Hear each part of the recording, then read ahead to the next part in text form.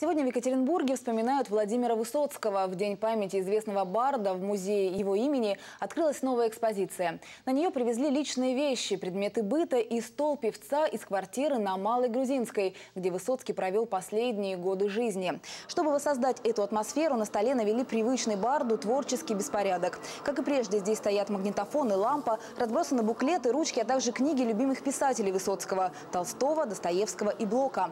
Однако самые ценные экспонаты здесь – это подлинные рукописи известного поэта и певца. Горожане смогут увидеть авторские правки песен «Я не спел вам в кино», «Был побег на рывок», «Я к вам пишу», а также поздравительные открытки и письма, которые Высоцкий получал от своих поклонников.